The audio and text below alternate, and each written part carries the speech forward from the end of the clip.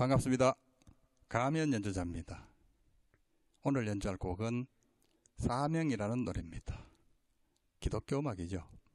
CCM이라고도 부르는데 그럼 제가 기독교 신자냐? 아닙니다. 저는 불교 신자입니다. 요 가까운 통도사에도 자주 갑니다. 근데 음악에 뭐 종교가 어디 있고 뭐 국경이 됐습니까? 그죠? 좋으면 같이, 같이 따라 부르고 뭐 그런 거지 뭐. 이 사명을 들어보니까 이 곡이 너무 좋아가지고 어, 제가 따라 부르고 또 연주까지 같이 하게 됐습니다. 세계 4대 승인 아시죠?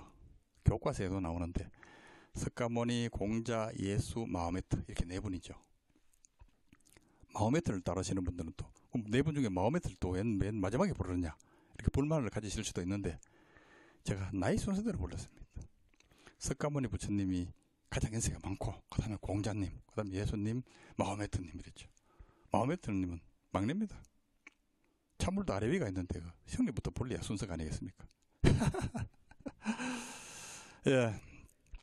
요즘 이 불교든 뭐 기독교든 간에 자기 마음대로 해석을 해가지고 자기 좋은 대로 해석을 해가지고 그렇게 가르치는 데가 많이 있는데 애초에 그 석가모니 부처님, 공자님, 예수님, 마호메트님 이분들이 애초에 우리 인간들한테 사람들한테 어떻게 살아오게 했는지 무엇을 가르치려고 했는지 지금 시대에 다시 한번 뒤돌아보는 계기가 되었으면 좋겠다고 생각합니다. 그분들이 하신 말씀이 진정 무엇인가? 무엇일까요? 어떻게 살아오게 했을까요? 예.